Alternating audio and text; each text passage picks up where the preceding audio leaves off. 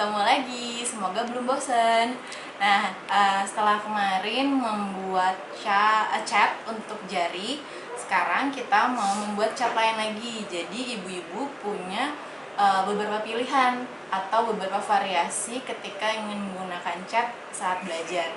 Jadi sekarang kita akan belajar membuat cat air. Nah, biasanya cat air itu uh, sudah jadi sudah ada di toko sudah berbentuk seperti bedak padat yang bisa kita pakai.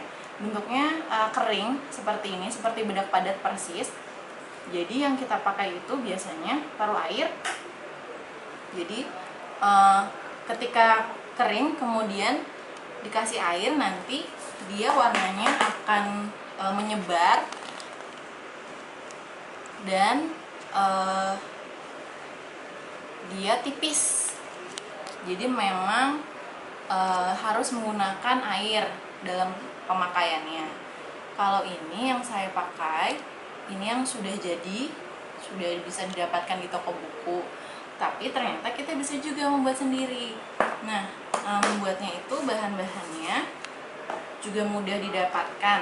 Nanti hasil akhirnya akan seperti ini. Jadi e, bentuknya agak padat kemudian di atasnya masih ada airnya sedikit nggak apa-apa. Seharusnya bisa kering. Tapi kalau anak-anak sepertinya lebih mudah kalau ada bagian yang basahnya sedikit. Jadi e, agak lembab dan ada airnya sedikit saja. Nah, bahan-bahan yang kita pakai adalah cuka makan. Cuka makannya e, hanya pakai sedikit. Kita pakai cuka makan. Kemudian kita pakai soda kue saya belum pernah pakai merek lain. Tapi yang biasanya dipakai adalah ini uh, soda kue. Jadi dia ada kandungan kimianya tapi aman untuk dimakan. Kita pakai soda kue ini uh, eh, 8 gram soda kuenya. Kalau tadi kan uh, untuk ukurannya kita menggunakan gelas plastik.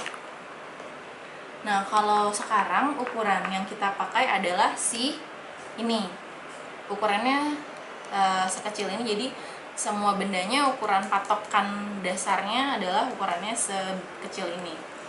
Kita pakai soda kue cuka cuka makan kemudian seperti biasa warna makanan. Dan juga kita perlu uh, maizena atau tepung jagung. Uh, mereknya apa aja? Kita pakai tepung maizena tepung jagung. Semoga di sana mudah ya mendapatkan tepung jagung. Kita perlu air sedikit juga.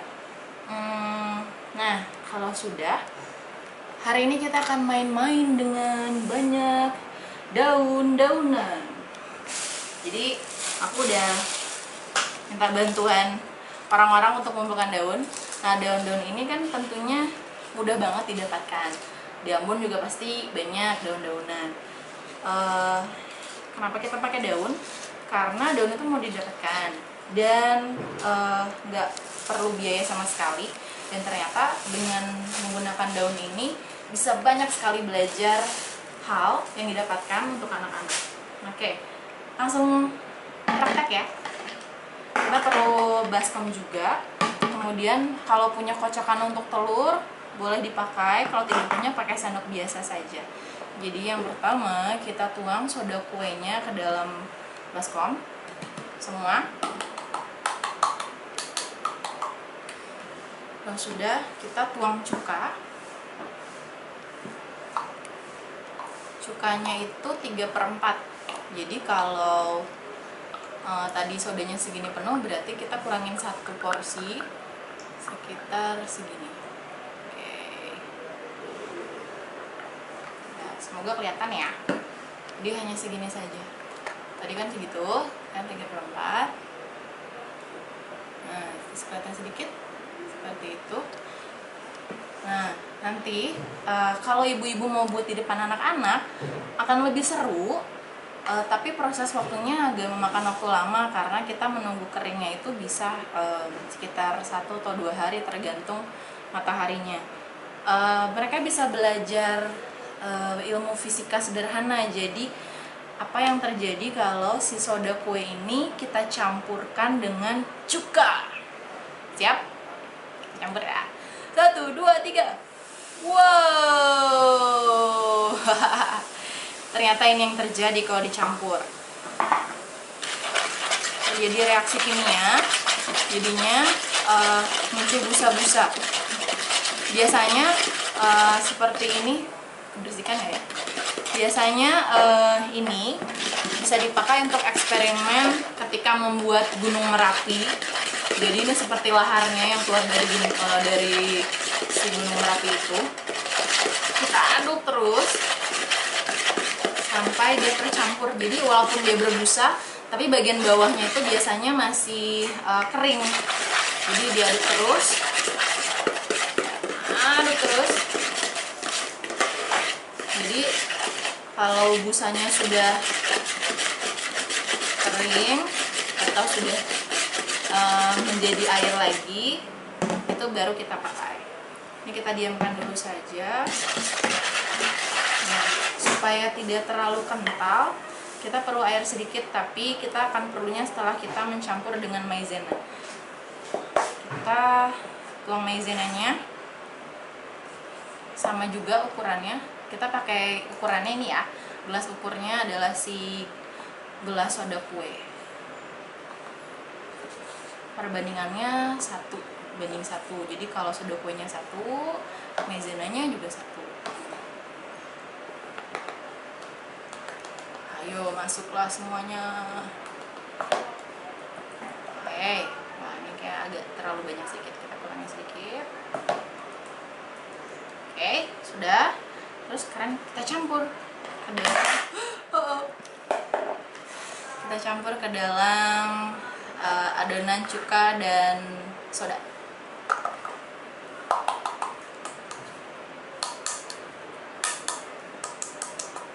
Oke. aduk lagi. Dia langsung jadi kempes nih. Soda-sodanya sudah mulai hilang dan sudah berubah jadi kental nah, kalau sudah seperti ini uh, aku biasanya menambahkan sedikit air supaya nggak terlalu kental. Oke, kita ganti deh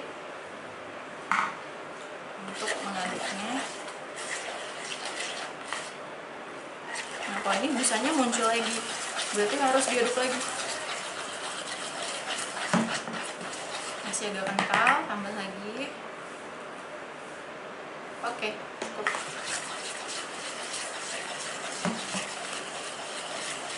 Nah, kalau sudah, kita siap untuk memasukkan ke dalam wadah.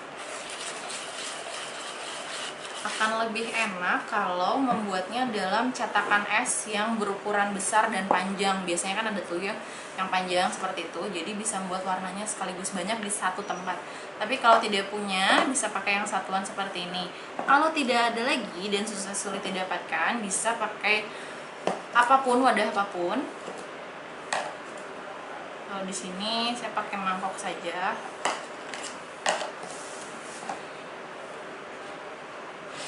kita susun dulu sambil nunggu busa-busanya ini hilang.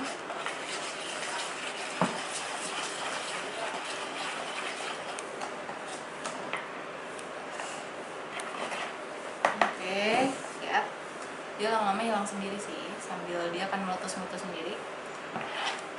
Sekarang kita mulai tuang.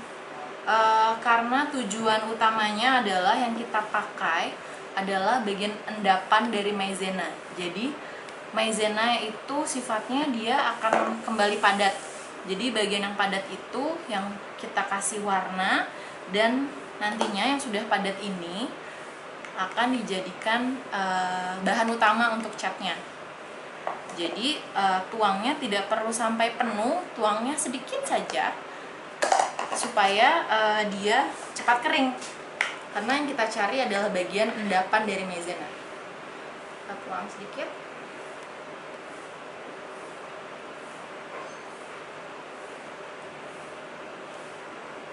Oke. Nah, setelah itu ini bagiannya udah mulai mengendap nih di bawah. Harus diaduk sebelum dituang supaya maizenanya ikut dalam mangkok oke. Lalu tinggal kita kasih warna. Nah warnanya ini perlu agak agak banyak uh, perlunya agak banyak oke warnanya mudah sekali jadi pakainya uh, bikinnya agak pekat dan agak gelap seperti ini. Kemudian kita campur merah. Hijau. Biru kita mulai aduk ya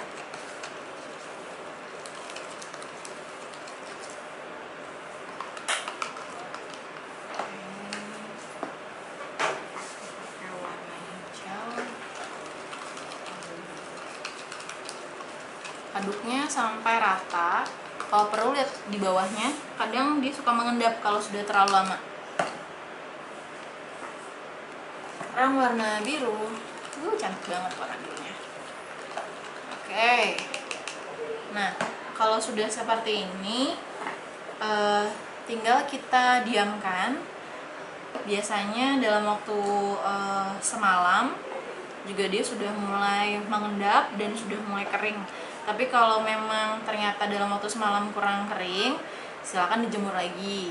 Atau mungkin eh, kalau dia sama sekali tidak mengendap berarti terlalu cair. Jadi mungkin ketika membuat lagi airnya tidak perlu dipakai. Oke ini kita sisihkan sambil ditunggu sampai dia mengering dan mengendap. Nah ini dia hasil yang sudah jadi seperti yang aku eh, buat tadi ini yang sudah jadi. Hasilnya seperti apa sih? Hasilnya kita coba ya. Mana kuasnya? Ini dia kuasnya. Ini kita pakai air. Karena dia sudah basah aku coba yang warna biru.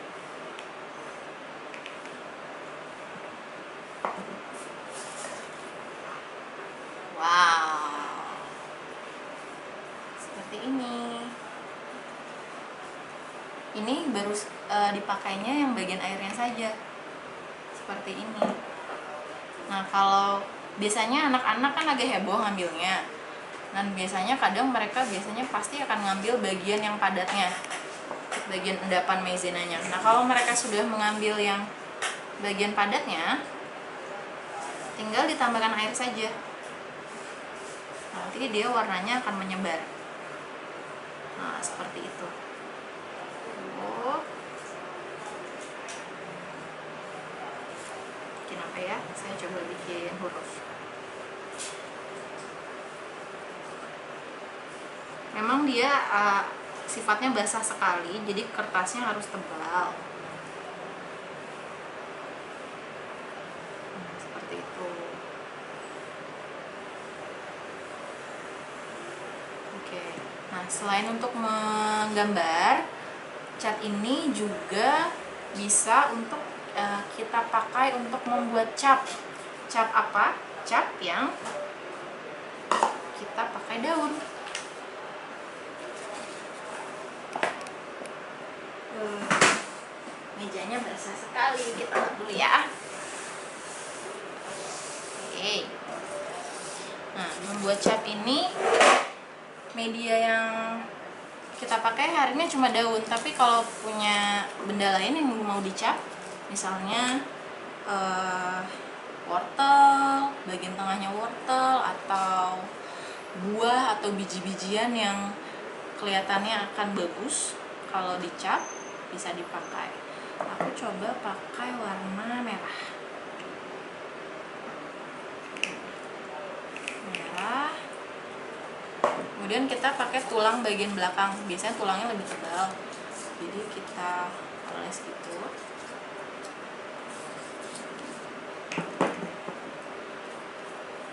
olesnya tidak usah terlalu tebal cukup tipis-tipis saja.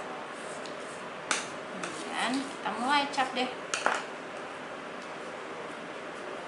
Tekan-tekan semua permukaan daunnya.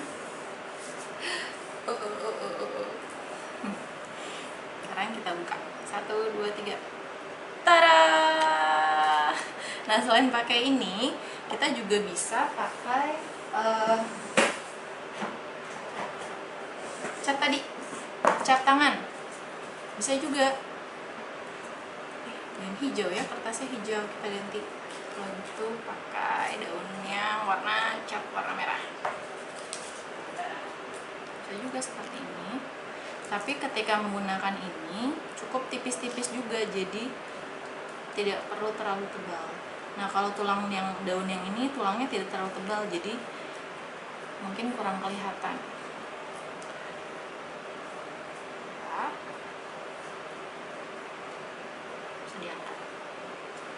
nah seperti itu kenapa tidak usah terlalu tebal karena ketika kita mengoleskannya terlalu tebal nanti akan jadi bermasalah ketika kita cap. Biasanya anak-anak kan uh, terlalu banyak ambilnya. Nah ketika mereka gosok-gosok ini yang akan terjadi. Jadi banyak bagian catnya yang terbuang dan akan lebih uh, basah dan biasanya akan lebih kotor jadinya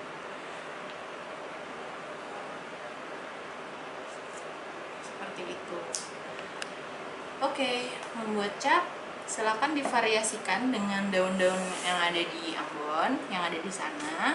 Sekarang kita bisa mengenalkan hal yang lain selain membuat cap. Misalnya adalah uh, membuat dan mengenalkan pola. Jadi pola itu pasti ibu-ibu masih ingat kan waktu itu aku pernah uh, cerita kalau pola itu ada banyak yang bisa dikenalkan. Sesuatu yang bergantian misalnya ukurannya besar kecil besar kecil atau mengenalkan warna warna yang bergantian. Merah biru merah biru merah merah biru biru. Kemudian uh, selain itu uh, kita juga bisa menekan tekstur. Misalnya tekstur kasar dan tekstur halus kalau yang kasar misalnya daun yang kering. Daun yang kering kan dia kasar. Tapi kalau daun yang masih segar biasanya teksturnya halus. Jadi bisa uh, bergantian daun segar daun kering. Seperti itu. Kita praktek ya. Hmm, kita coba membuat pola. Misalnya pakai cat ini saja ya. Kalau ibu mau pakai cat air boleh. Tapi aku lebih suka pakai cat ini. Jadi polanya adalah pola warna merah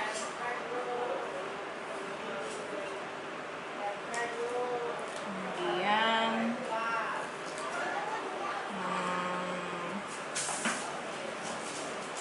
kuning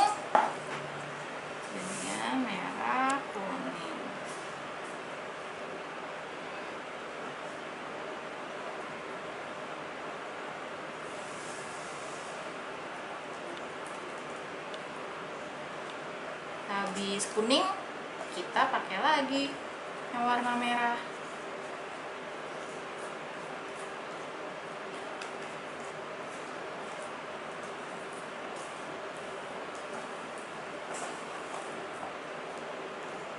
Nah, merah, kuning, merah. Habis merah apa ya?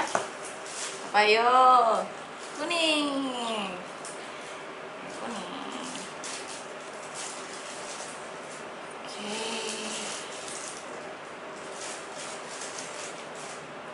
Seperti itu, dengan ini mereka bisa belajar mengenal pola warna yang bergantian. Tapi, tanpa kita sadari, bisa dua hal juga selain belajar warna, bisa belajar ukuran nih. Besar, eh, panjang, pendek. Panjang, pendek. Tergantung daun yang digunakan bisa besar, kecil, besar, kecil. Seperti itu. Kemudian, eh, bisa juga mengenalkan ukuran besar dan kecil.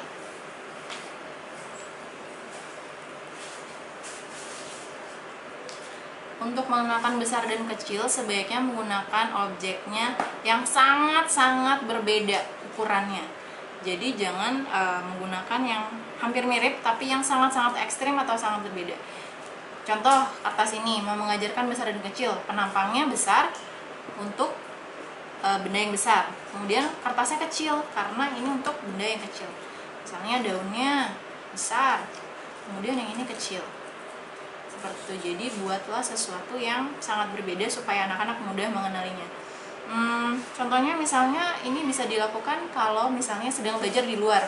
Jadi oke okay, anak-anak hari ini kita akan belajar tentang besar dan kecil. Kita akan keluar kita akan uh, mencari daun kalian bawa daun sebanyak-banyaknya. Nanti kalau sudah kita akan masukkan ke dalam kantong plastik yang kecil untuk daun-daun yang kecil. Kemudian ini satu lagi kantong plastiknya untuk daun-daun yang besar. Jadi setelah mereka mengumpulkan banyak sekali daun misalnya sudah dapat daun sebanyak ini nanti suruh mereka untuk ambil sekali dua jadi sekali ambil langsung dua. Kemudian minta mereka untuk langsung membandingkan. Oke kamu punya dua daun mana yang besar mana yang kecil ya? Oh ini yang kecil berarti dia masuk ke dalam kantong kecil. Kemudian ini daun besar berarti masuknya ke dalam kantong yang besar. Seperti itu. Jadi setiap anak bisa belajar e, praktek langsung satu persatu tapi tetap seru sekali karena bisa tetap bermain di luar. Selain mengenalkan benar dan kecil eh besar dan kecil kita bisa belajar juga hmm, tentang ini tekstur kasar dan halus. Seperti yang tadi kita sudah kita sebutkan kalau daun yang halus itu biasanya masih segar. Jadi seperti itu. Dan ini yang sudah kering kasar dan ada suaranya biasanya kalau diremas-remas karena dia kasar.